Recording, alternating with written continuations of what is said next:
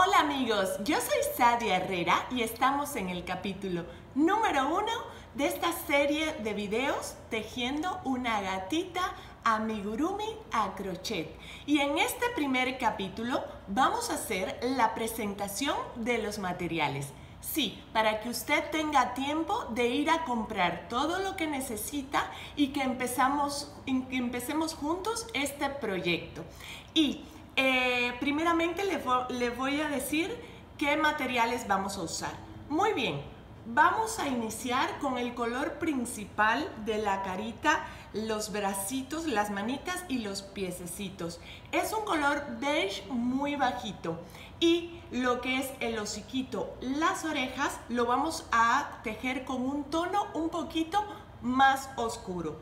También utilizaremos lo que es el estambre rosa para, para la ropa y gris que ahora nos vamos a ir a un acercamiento para que usted vea específicamente cuál es y su amigurumi le quede igualito.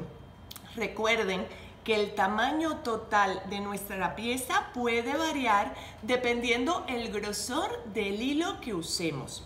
Lo otro que vamos a usar en el proyecto es tela para las orejitas y pues ya lo demás nos vamos a ir directo al acercamiento para que usted vea qué, específicamente vamos a usar.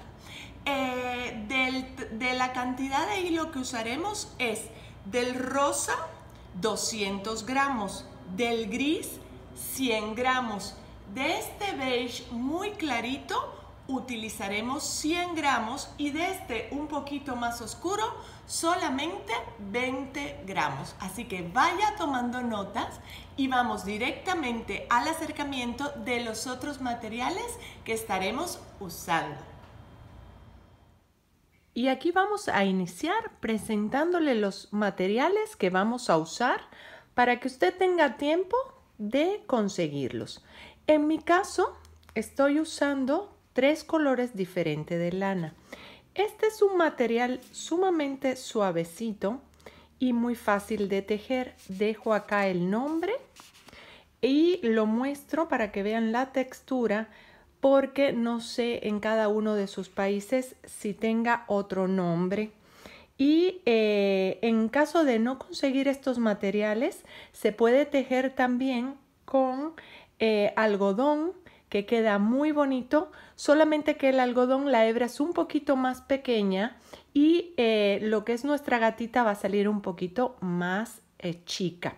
Lo otro que vamos a ocupar, ah, le decía primero, tres colores diferentes. Este para piernas, eh, manos y carita y estos dos para su ropita. Y luego vamos a, ocupar ganchillos. En este caso voy a ocupar de varias medidas. Para este hilo de color beige para la cara voy a usar del número 3. Para los otros voy a ir alternando entre 4 y 4.5 según vaya tejiendo y vaya viendo el, cómo va quedando el, el tejido. Lo siguiente que vamos a ocupar son los ojitos de seguridad. En este caso son del número 6, pero también hay ojitos un poquito más grandes del número 8, en fin.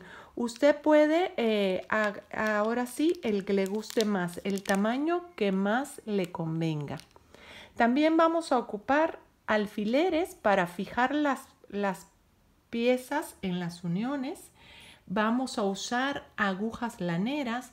En este caso voy a usar dos. Esta para las uniones de cabeza y cuerpo que son eh, piezas más grandes y esta aguja para lo que es el bordado de las cejas. También para las cejas vamos a ocupar hilo de bordar color café, lo dejamos por acá. Y también vamos a usar marcadores para nunca perder el inicio de la vuelta. Tijeras y eh, también vamos a usar relleno. En mi caso yo uso este relleno sintético, pero como siempre le digo, usted puede usar el que le acomode más. Y creo que sí, que ya estamos completas de material. Y bien amigos, espero que estemos listos, que ya nos dé tiempo toda esta semana de buscar nuestros materiales para que iniciemos muy pronto con este proyecto. Y si aún no está suscrito a mi canal, le invito de este lado a suscribirse y de este otro lado le dejo la lista completa de este proyecto, o sea, todos los videos, el paso a paso. Yo me despido por hoy, soy Sadia Herrera Bye.